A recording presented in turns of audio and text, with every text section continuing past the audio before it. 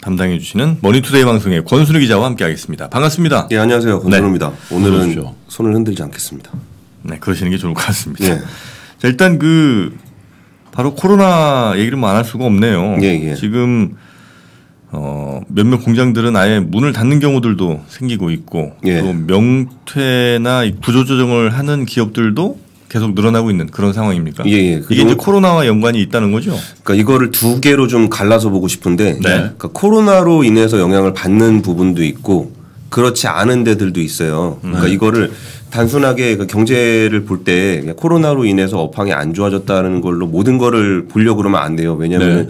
이게 이제 코로나로 묻혀서 음. 정말 본질적인 부분들이 좀 다른 게 있어서 그 인력 구조 조정이 이루어지고 있는 기업들이나 산업군의 특징들을 같이 한번 보시면서 그러니까 코로나로 인한 것도 있고 코로나랑 관련이 있는 것도 있고 코로나랑 관련이 없는 것도 있고 그렇거든요. 음. 그래서 좀 최근에 이루어지고 있는 일련의 그 기업들 사이에서 일어나고 있는 일들을 좀 정리를 좀 해드리려고 준비했습니다. 네. 네.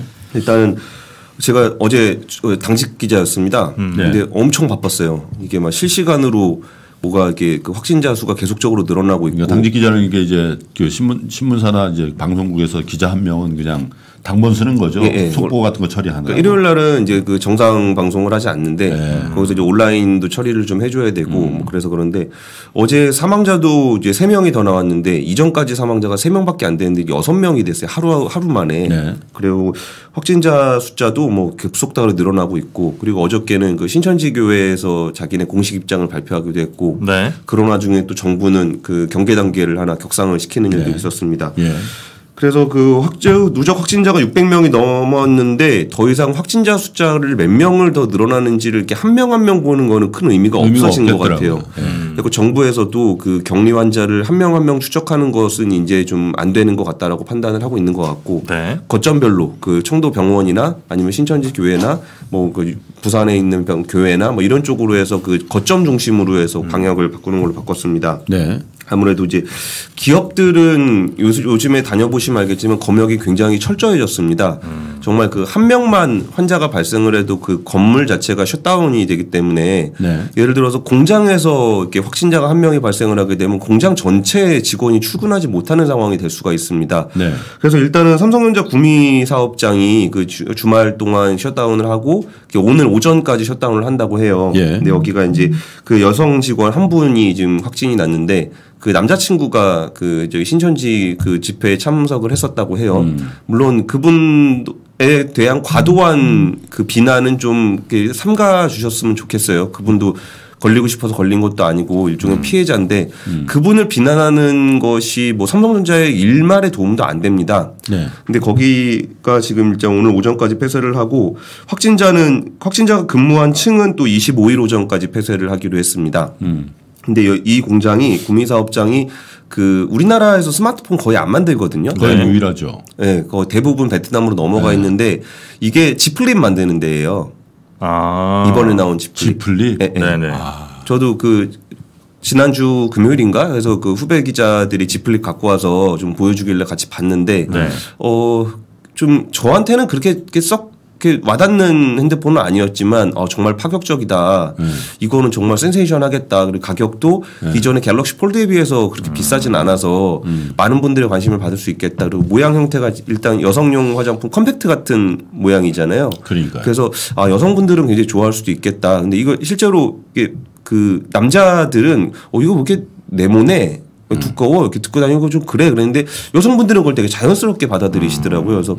야 이건 굉장히 좋겠다는 생각이 좀 들었고 그 울트라 20컴그 울트, 어, S20 S20 네. 울트라 같은 경우도 이제 후배 기자들이 이제 여의도 공원 가그 평이 좋던데 여의도 공원 가서 줌을 땡기는데 어 정말 사람 눈에 비할 게 아니더라고요. 사람 눈으로 안 보이는 게 보여요. 이게 줌을 쫙 당기면은. 음. 근데 물론 그거는 이제 그 구미공장에서만 만드는 건 아닌데 어쨌든 구미공장이 지플립에 대한 수요가 쫙 올라오는 시점에 네. 일단 당장의 생산 차질까지 이어지진 않을 것 같아요. 사무직뿐이고 오늘 오전부터 오늘 오전까지만 멈춘다고 했으니까. 아, 사무직이라는 거죠. 네, 네. 네. 그렇긴 한데 이게 이제 어디로 번질지에 대해서 공포가 굉장히 심한 음. 상황이에요. 그 지난주에 그 한국 GM의 부평 공장의 어떤 한 분이 네. 그뭐 좀 의심이 된다 그래가지고 굉장히 그 한국 GM 전체가 좀 들썩 들썩였었어요. 음. 이게 이제 그분 한 분이 이제 확진이 나게 되면 공장 자체를 shutdown을 해야 되는 상황이 되는데 이 부평리 공장이라는 데가 지금 최근에 출시된 트레일블레이저라고 아 소형 SUV. 예, 네, 그게 지금 되게 오랜만에 신차가 나온 거거든요. 네, 그러니까 이 차 지금 한창 만들어 팔아야 되는 시점이었기 때문에 음. 이걸 shutdown할 경우에는 한국 GM이 굉장히 좀 치명적인 영향을 줄 수 있었습니다. 네. 뭐 다행히 음성 판정이 나긴 했지만 굉장히 좀 그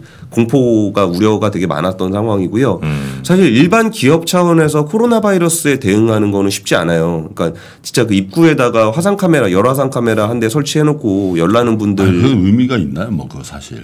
뭐 있기는 한데 열이 나면 보통 해열제를 먹잖아요. 네. 그럼 해열제를 먹고 나면 열화상 카메라로는 잡을 수가 없어요. 그러니까.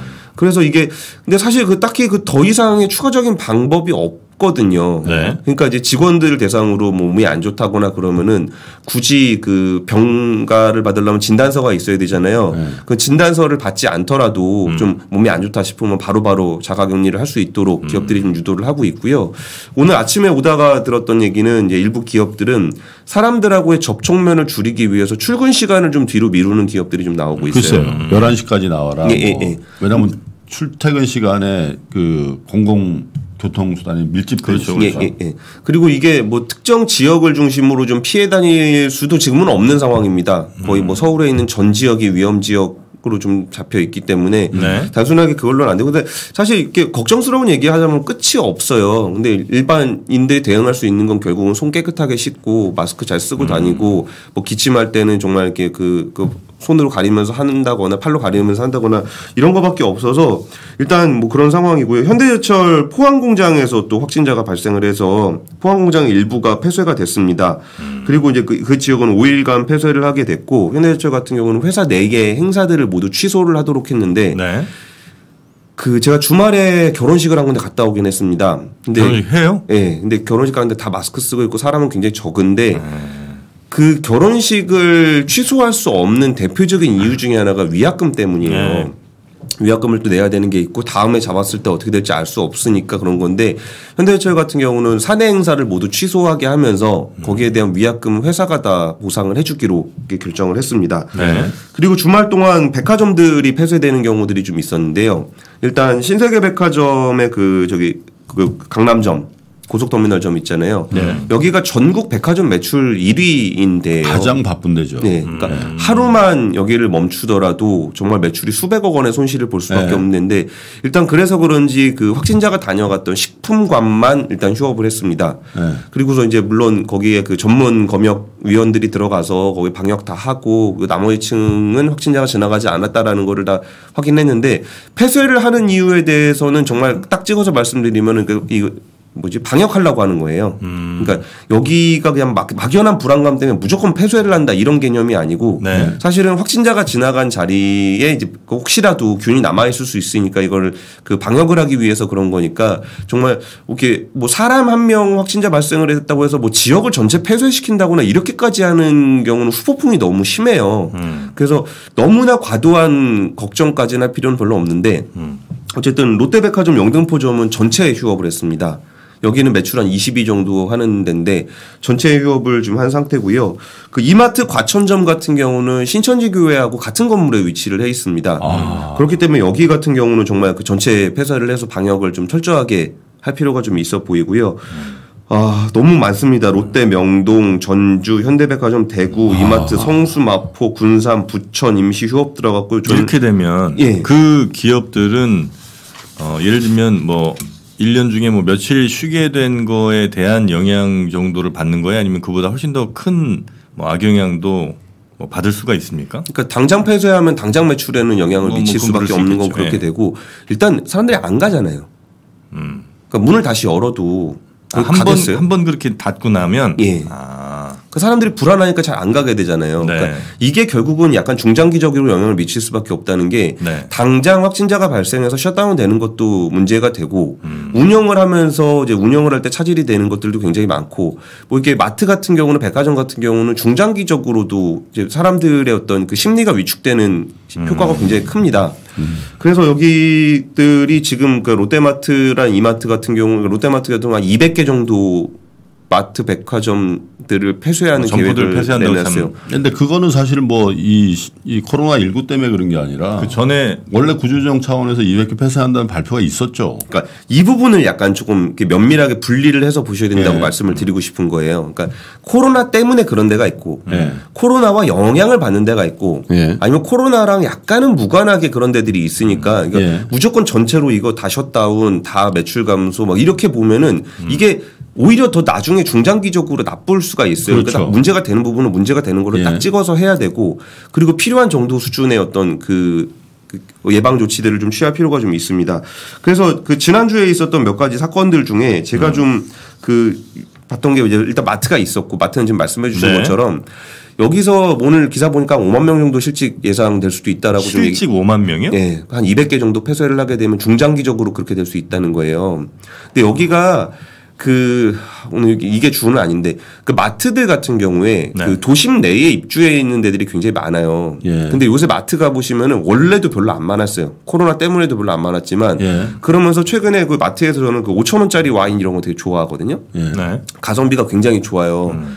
그러면은 굳이 그 마진도 안 나올 5천 원짜리 와인을 왜 파냐? 이게 네. 온라인 주문이 안 되기 때문에 아, 미끼 상품 네, 미끼 상품으로 사람들이 입점 그러니까 좀 오게끔 하려고 하는 오면 거예요. 뭐좀 건져가지. 네, 네. 네. 그래서 하는 건데 음. 사실은 기업들 내부적으로는 대외적으로 말은 안 하지만 그 거점에 있는 마트들을 사실 굉장히 폐쇄하고 싶어해요. 운영을 하면 운영을 할수록 손해를 보기 때문에 음. 이걸 차라리 폐쇄를 하는 게 훨씬 더 이익이에요. 그럼 이거를 또 어떻게 바꾸고 싶어 하냐면은 네. 요즘에는 그 이커머스가 굉장히 발전을 해 있기 때문에 물류가 굉장히 중요해졌습니다. 아. 얼마나 신속하게 조달을 해줄 수 있을 것인가. 네네네. 네, 네. 근데 도심 내에 그 정도 위치를 선점하고 있는 곳이 없거든요. 음. 그러니까 이 마트를 차라리 물류 창고로 개조를 하게 되면은 이커머스 분야에서 굉장히 powerful한 그 물류 조직을 갖출 수 있게 돼요. 아니 판매도 하면서 물류도 같이 하면 그게 더 좋은 거 아니죠? 물류 창고는 굉장히 또 사이즈가 커야, 커야 되니까. 아. 거점이니까. 예. 아. 그러니까 이게 지역의 도심 내에 그 정도 위치를 가지고 있는 곳이 없어요. 그러니까 음. 마트들은 사실 그거를 물류 거점으로 바꾸게 되면은 나머지 뭐 오픈 마켓이니 마켓컬리 이런 데랑은 비교가 안 될 정도의 물류 아. 시스템을 갖출 수가 있어요. 네. 근데 이거를 그 지자체라든지 이런 데서는 결사 반대를 합니다. 음. 너무나 많은 사람들의 일자리가 달린 문제이기 때문에 아. 이거를 폐쇄하는 것이 거의 불가능해요. 네. 근데 이런 게 일단 코로나 바이러스의 어떤 그 코로나19의 영향과 맞물리면서 폐쇄할 수 있는 명분이 되기도 해요. 아, 기업들 입장에서 예. 어차피 우리 지금 뭐 영업도 할 수도 없는 상황이고 예. 예. 물류로 돌리겠다. 예. 이래도 예. 지자체에서 뭐라고 못할 가능성이 높다는 거죠. 그러니까 사실 뭐라고 하겠죠. 네. 근데 그래도 뭐지 좀 더 이렇게 명분이 묻히죠, 좀 묻혀. 묻힐 음, 수가 있는 거예요. 맞아요. 예, 그래가지고 이제 이런 부분들에 대해서 야 이게 코로나는 코로나고 이게 그 일자리는 일자리가 물론 기업이 손해를 보는데 강제로 그거를 영업을 하게 하는 것도 사실 바람직한 건 아니지만 음. 어쨌든 가치 판단의 영역에 코로나라는 변수가 들어왔다라는 거를 우리가 인지를 하고 있어야 된다는 말씀을 좀 드리고 싶은 거고요. 네. 그러니까 항공사가 어렵다는 얘기도 약간 좀 이거 좀 관련이 조금 있으면서도 없기도 한 부분들이 분명히 있습니다. 항공? 네. 네. 항공도 지금 중국 노선 같은 경우 70% 이상 뭐 없어졌잖아요. 네. 그렇죠. 그리고 사람들이 여행을 취소하기 시작하면서 굉장히 어려워졌는데 여기가 정말 어려워진 본질적인 이유를 따지고 들어가 보면은 네. 사실은 일본 불매 운동의 영향이 굉장히 커요. 음. 그 전에 저비용 항공사를 중심으로 일본 쪽에 굉장히 많은 그 노선을 배치 배정을 하고 있었어요. 예. 네. 근데 일본 분배 운동이 강하게 이뤄지면서 이쪽에서 여행객들이 급감하다 보니까 음. 이 항공사들이 보통 그뭐 어, B737 이런 것들이 한 6시간 정도밖에 못 날거든요. 음. 그러니까 일본을 향해 있던 비행기들을 동남아로 다 노선 변경을 한 거예요. 음. 동남아로 노선 변경을 한 상황에서 코로나가 발생을 하다 보니까 네. 이게 정말 치명적인 타격으로 다가오게 된 겁니다. 음. 기억해 보시면 일베 분무, 일본 불매 운동으로 일본 못 갔죠. 네. 홍콩 사태로 홍콩 못 갔죠. 그러면서 코로나 때문에 중국을 못 가고 있는 상황에서 동남아에다 거의 올인을 하고 있는 상황이었는데 음. 여기서 동남아 쪽에서 코로나가 발생을 하고 우리나라도 코로나 발생을 하면서 여기가 정말 치명적인 타격을 입은 겁니다. 음. 그럼 항공사가 다 안 좋으냐라고 보면 안 된다는 거예요. 항공사 중에서 예를 들어서 대한항공이나 아시아나항공도 지금 뭐 희망퇴직도 받고 있고 무급휴직도 하고 있고 하지만 여기는 장거리 노선들이 그래도 좀 있잖아요. 네. 그러니까 항공업이 안 좋다라는 것보다 더 중요하게 봐야 되는 거는 저비용 항공사들을 눈여겨봐야 네. 되는 겁니다. 네. 여기는 6시간 이상 날아갈 수 있는 비행기가 별로 없기 때문에 음. 동남아로 그러니까 여기서 일본한테 맞고 홍콩한테 맞고 동남아에 올인을 하고 있는 상황에서 맞았다는 게 정말 치명적이라는 거예요. 음. 그러니까 단순하게 아 코로나 때문에 항공사가 다 안 좋구나라고 보는 게 아니고 진짜 코로나의 영향을 직접적으로 어떤 경로에 의해서 맞게 됐는지 그리고 어떤 기업 구조를 갖고 있기 때문에 그런 상황이 됐는지를 좀 볼 필요가 있다는 말씀을 좀 드리고 싶은 겁니다. 그리고 항공사 같은 경우에 노선을 배정을 받은 다음에 네. 안 돌리면 뺏깁니다. 음. 아. 네, 한국에서 정기적으로 그걸 평가해서 예. 점수를 주죠. 노선이 있는데 그걸 예. 를 들어 한 두 달 쉰다 이러면 그냥 아예 반납할 수도 있다는 거예요. 반납을 할 수 있는 게 아니고 반납을 당한다는 거죠. 음. 그러니까 자기가 노선을 받았으면은 그 노선을 네. 유지해야 될 책임이 있는 거예요. 음. 그러면은 여기가 예를 들어서 취소가 지금 항공권 취소 사례만 한 3주 동안 3천억 원 이상 냈다 그러거든요. 네. 근데 예를 들어서 한 10명이 타고 간다. 음. 그러면 그 정도 노선은 취소할 수도 있잖아요. 안 된다는 거예요. 음. 그럼 빈 비행기가 계속 왔다 갔다 해야 되는 거고. 아. 그러면은 그 항공사들에서 그래서 그런 부분들을 건의를 한 겁니다. 이제 우리가 노선을 줄였을 때이 네. 노선을 유지하지 못했을 때 우리가 회수를 당하지 슬롯이라고 표현을 하는데 네. 슬롯을 회수해주지 않았으면 좋겠다. 음. 이게 그 저기 그 국토부에서 중국 관련한 노선을 이렇게 의무 비율만큼 채우지 못하는 거에 대해서는 예외로 해주기로 했어요. 음. 그래서 이번에 그 조금 더 완화를 해준 부분이 중국 외 노선으로 확대하는 걸 검토하겠다. 이 회수하는 것을 유예시켜 주는 것의 지역을 확대하는 것을 검토해 보겠다라고 한 게 있습니다. 음. 그리고 또 하나 우리가 볼 때는 사람만 주로 보게 되는데 네. 운송 분야에서 굉장히 치명적인 게 있어요. 그건 장거리 노선 쪽에 영향을 미치는 건데 네. 중국에서 미국으로 가는 물류들이 있어요. 네. 그 물류가 인천공항을 경유해서 가는 게 굉장히 많습니다. 음. 그러니까 어떻게 보면은 어 미국 가는 거는 괜찮지. 라고 생각할 수 있어요. 노선들이 살아 있으니까. 그러니까 인천에 내려서 뭐 사람 내리고 태우고 하는 건 아니고 그냥 잠깐 쉬었다가 기름 넣고 이렇게 간다는 거죠. 그러니까 그 사람 말고 네. 물류, 그러니까 물건들이 중국에서 인천공항을 거쳐서 미국으로 가는 그 거점으로 음. 이용하는 그 물류 구조가 중국이랑 전체 물류의 80%가 이런 경유 물류예요. 그것도 못 쓰게 하는 거예요? 중국에서 못 들어오니까 아. 한국을.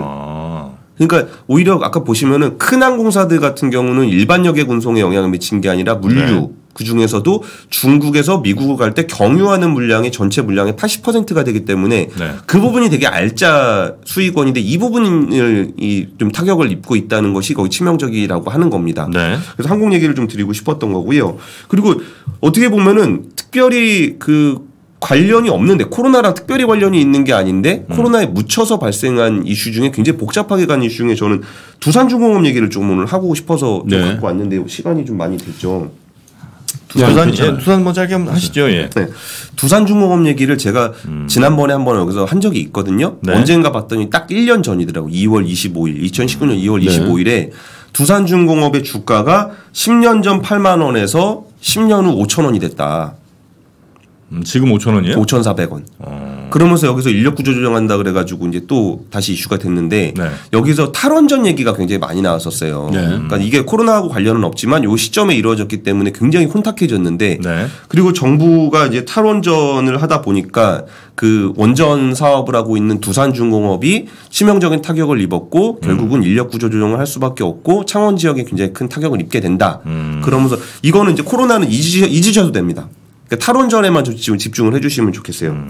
그럼 탈원전 때문에 그렇게 된 거냐라고 했을 때그 뭐 정부에서 이례적으로 반박 보도 자료를 냈어요. 음. 두산중공업이 그런 거 아니다. 네, 두산중공업 그렇게 된 거 탈원전 때문이 아니다라고 네. 보도 자료를 내면서 그 한수원에서 그그 지급한 돈 한수원이라는 건 한력 수력 원자원 네. 원자력 한전 자회사죠. 네, 한전 어, 어 아니 아니요 따로 있습니다. 그러니까 한전이 자회사 중에 하나죠. 음, 아니 아니요 아니요 공공기관이에요. 한국 수력 원자력. 네, 네. 네. 거기 전기 만드는 네네. 그 저기인데 네. 그 수력 발전소하고 원자력 발전소 관리하는 공공기관이에요. 네. 음. 그럼 여기서 그 한 어, 두산 중공업에다 지급한 돈이라 그러면 두산 중공업의 원전 관련 매출이 되는 거잖아요. 네. 그러니까 지난해 기준으로 한 8천억 정도로 이전보다 줄어들지 않았어요. 네. 그러니까 탈원전의 영향을 입어서 그런 것은 아니다라고 음. 하면서 뭐를 얘기했었냐면은 석탄화력 발전이 오히려 더 문제다. 네. 그러니까 두산중공업의 전체 포트폴리오 중에 원전 관련 매출이 한 20% 정도 되고 나머지는 대부분이 석탄화력 발전소예요. 네. 해외 관련해서도. 네. 근데 이 부분에서 굉장히 급감을 한 거예요. 음. 그러니까 탈원전 때문에 그런 게 아니라 석탄화력 발전소의 비중이 너무 높은데 이 음. 부분이 글로벌하게 줄어가지고 두산중공업이 어려움에 취했다라는 음. 것이 그 정부의 발표였습니다. 네. 그럼 두 그럼 어 그러면 근데 모든 게 보수지라든지 경제지라든지 탈원전 때문에 그렇게 됐다라고 주장을 하고 정부에서는 탈원전 때문이 아니다라고 얘기를 하고 오히려 뭐가 사실입니까? 그리고 사실이 뭔지를 제가 그 확인을 해보니까 음. 황희정승이더라고요. 둘다 맞다. 음. 둘다 맞다라는 거를 이제 두산중공업이랑도 같이 좀 얘기를 긴밀하게 해봤는데 음. 얘기가 뭐였냐면은 기업이라는 거는 오늘의 매출만이 중요한 게 아니에요. 내일 매출, 1년 후 매출, 3년 후 매출, 5년 매출이 중요하단 말이에요. 네. 그래가지고 원전을 이렇게 지을 것을 염두에 두고 현금 흐름을 계산을 해놓은 거예요. 음. 그런데 이게 탈원전이라는 게 지금의 원전을 스탑시키는 게 아니라 공사 중인 거 아니면 앞으로 공사를 할 것을 멈춘 거잖아요. 그러니까 두산중공업 입장에서는 몇 년 후에 매출이 이 정도 나올 것을 염두에 두고 자금 조달을 해놓고 인력 구조를 이렇게 짜놨는데 네. 여기서 그 미래 매출이 없어진 거예요. 음. 그래서 신규 수조가 한 8조 정도 되던 신규 수조가 1조 대 1조대로 줄어들었습니다. 아, 수주가 줄었다. 예. 음. 그리고 이제 앞으로 생겨날 수주를 염두에 두고 아직 허가는 받지 않았지만 저거는 사업을 하게 되면 다음에 몇 조 정도 들어올 거야를 염두에 두고서 자금 조달을 해 놓은 것들이 있어요. 그래서 올해 단기 차입금 만기 돌아오는 게 1조 5천 아니 2조 5천억 원 정도가 돼요. 네. 이게 이제 앞으로 매, 매달 뭐 몇천억씩 돌아오게 될 텐데 음. 그 자금 조달하는데 굉장히 큰 문제가 생긴 거예요. 네. 그러니까 예. 근데 이제 체크 잠깐만 하자면 한국 수력 원자력 예, 예. 여기가 한전 자회사 한전 자회사는 맞죠. 지분은 한전이 갖고 있죠. 동서발전, 남동발전 이런데 다 그 중에 하나가 한수원이고. 음. 아 그런가요? 네, 그렇습니다. 아, 그럼 제가 저는 다른 별도의 공공기관으로 아니, 알고 있는데 공공기관인데 예, 예. 어쨌든 지분 관계상 한전자회사로 돼 있을 거예요. 음. 한국수자원공사는 이제 다른 데인데 네. 예, 한국수력 원자력은 한전자회사가 몇 군데 있거든요. 남부발전, 남동발전, 뭐 한국수력, 네. 한수원 다. 제가 지금 그러니까 찾아보기는 발전자 회사죠, 발전자 회사. 네, 저는 별도로 알고 있는데 어쨌든 뭐 그거는 나중에 네. 확인해 보 확인해 보겠습니다. 네. 그래서 지금 두산중공업은 음. 전방위적인 자금 조달에 나섰어요. 그래가지고 지금 거기가 뭐 담수 사업도 있고 발전 플랜트도 있고 뭐 이렇게 있는데 네. 거의 뭐 그 발전 설비 빼고는 거의 다 매각할 수 있다라는 마인드로 네. 좀 접근을 하고 음, 있다고 음. 해요.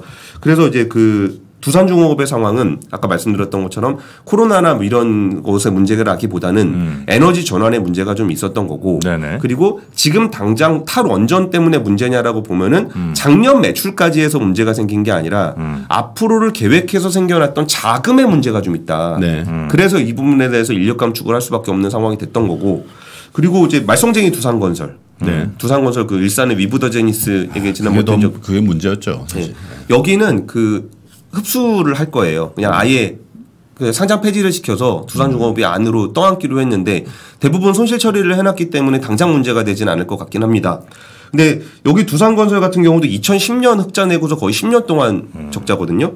거의 뭐 야구로 따지면 LG 트윈스 제가 좋아하는 LG 음. 트윈스급으로 좀 적자를 내고 있기 때문에 네네. 이런 부분들이 지금 지속적으로 두산중공업에 부담이 되고 있는 거예요. 음. 그러면 야 그럼 두산중공업은 지금 이제 화, 뭐 주력으로 하고 있던 화력도 안 되고 원전도 안 되고 뭐 두산건설 떠안고 이거 다 팔아버리면은 그러면 이제 두산중공업은 개털이 되느냐라는 음. 부분에서 네. 그렇지 않다라는 얘기도 마저 드리고 싶어요. 어떤 음. 부분이냐면은 두산중공업 같은 경우는 우리나라를 대표하는 에너지 플랜트 회사란 말이에요. 네. 그래서 여기서 가스터빈을 최근에 하나 만들었다라고 발표를 했는데 음. 가스터빈이라 그러면 별로 와닿지가 않으실 거예요. 그 음. 대형 가스터빈은 전 세계에서 만들 수 있는 국가가 네 군데밖에 없어요. 네. 우리나라가 다섯 번째가 된 거예요. 음. top 5가 된 겁니다. 어디다 쓰는 거예요, 가스터빈은? 발전하는 데 써요. 발전할 때. 네. 근데 이게 진짜 어렵거든요. 굉장히 큰 엔진 같은 건데 음. 정말 뭐 1200도 이상 되는 고 고온의 기체를 정말 그 몇 년 동안 굴리면서도 손상을 입지 않아야 되는 이거 어마어마한 기술입니다. 음. 이런 부분들이 향후 가스 발전이라든지 수소 발전이라든지 이런 걸로 지금 전환이 되고 있는 시점이잖아요.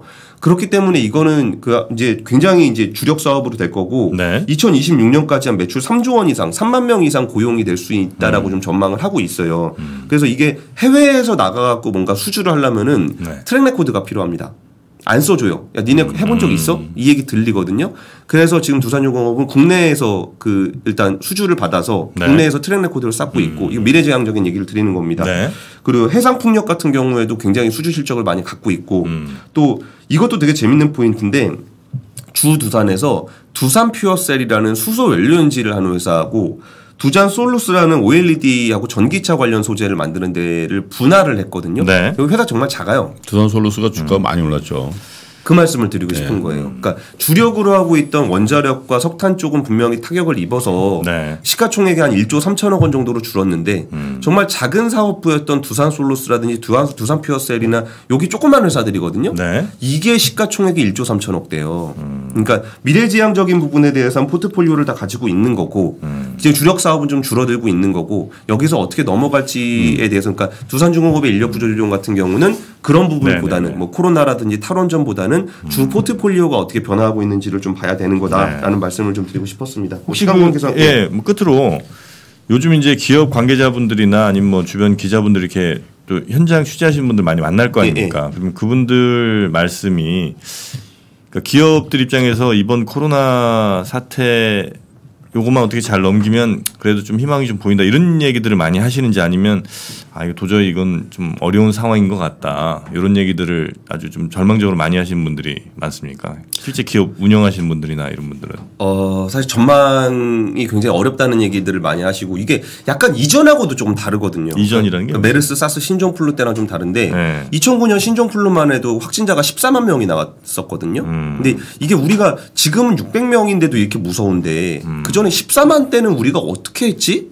라는 고민들을 막 하게 되는 거예요. 네. 그리고 지금은 한 명의 환자가 나오더라도 셧다운을 해야 되는 게 거의 기본 정설처럼 이렇게 음. 느껴지잖아요. 네. 그러니까 기업들 입장에서도 약간 좀 이게 부담스러운 거예요. 음. 예전에 예를 들어서 우리나라에서 1년에 폐렴으로 죽는 사람이 17,000명 정도 되거든요. 네, 연간 네, 네, 매년. 네, 네, 그러면 기업에서 뭐 폐렴이나 폐결핵으로 죽는 사람이나 아니면 확진이 나왔다고 해서 공장을 셧다운하진 않잖아요. 네. 근데 이번에는 나오면은 셧다운을 해야 되는 건가? 반드시 해야 되는 건가? 측만 해야 되는 건가? 사무실만 해야 되는 건가? 이런 거에 대해서 굉장히 혼란스러운 게 있어요. 거죠. 음. 예. 이런 부분 때문에 어, 이 불확실성이 크다라는 게 이전 사례하고 비교를 해보면은 그렇게까지 영향을 받을 건 아닌 것 같은데 음. 만약에 이런 분위기가 이어져서 정말 한 명의 확진자가 나와서 셧다운의 기간이 길어지거나 아니면 그 주변에 있는 그 직원들을 모두 다 격리를 시켜야 된다거나 네. 이런 식으로 분위기가 형성이 돼 있다면은 한 명한 한 명이 나올 때마다 굉장히 좀 불안해하고 있는 상황이라 철저하게 정말 단 한 명의 확진자도 발생하지 않도록 하고 있다라는 게 굉장히 큰 부담이고 네. 실제로 나왔을 때 어디까지 해야 되는지에 대한 불확실성에 대해서 우려를 굉장히 많이 해요. 기업 운영하시는 분들이 예, 예. 그러니까 음. 이 부분이 지금 그 가장 가장 부담스러운 부분이고 이게 음. 끝나면 조금 나을 거다라고 생각하시는 분들의 얘기는 이게 그 두 가지인데 네. 하나는 어 지금 수요를 확 눌러놓은 게 있어요 전반적으로. 음. 그래서 이게 그 어 공격적인 내수 복귀 음. 상황. 그러니까 이게 확 눌려가지고 이게 풀리기 시작하는 순간 다시 확 늘어날 수 있다. 라는 거는 사실 밥은 하루에 다섯 개 못 먹잖아요. 음. 근데 내구재 같은 경우는 좀 안 사고 있다가 나중에 확 살 수 있거든요. 그러니까 내구재 쪽은 그때 한번 복귀가 들어오면 세게 들어올 수도 있다라는 거 하나가 있고 네. 또 하나는 그 정부 차원에서 우리 정부뿐만이 아니라 중국 정부 차원에서 지금 어마어마한 돈을 풀어내고 있습니다. 음, 그러니까 그걸 기대하는 분들이 좀 있다는 거죠. 그러니까 이 돈이 풀리는 게 지금 같이 침체돼 있는 상황에서는 확 티가 안 나는데 음. 이게 코로나가 어느 정도 잠잠해지고 이게 턴어라운드가 되는 시점에 오면은 이 풀린 돈들이 진짜로 이게 딱 유통이 되기 시작할 때 폭발적으로 늘어날 수 있다. 음. 이거는 거시하시는 분들 얘기가 오히려 김프로님 쪽이 더 많은 얘기 그쪽을 얘기 많이 할 거예요. 음. 그래서 그런 부분들이 있고 그러니까 저기 그 농산물 쪽 하시는 분들은 네. 중국 쪽에서 이거 농산물 안 들어오기 시작하면은 이게 실제 국내 수요가 살아날 때 농산물이 들어오지 아, 않고 있다라는 거를 갑자기 느끼면서 그 음. 그 농산물발 인플레이션 우려를 하시는 분들도 좀 있습니다. 음, 뭐 인플레이션이고 뭐 뭐간에 그런 여건이 좀 형성이 됐으면 좋겠는데 일단은 뭐 그런 우려보다는 네. 네. 알겠습니다. 자 오늘 어, 우리 권순우 기자님 모시고 어, 실제 우리 산업 현장에서 코로나로 인한 얼마나 큰 영향들이 있는지 음. 또 그걸 구분해서 좀 저희가 살펴보는 시간을 네. 가졌습니다. 함께 해주신 머니투데이 방송의 권순우 기자님 대단히 고맙습니다. 고맙습니다. 네, 감사합니다. 네.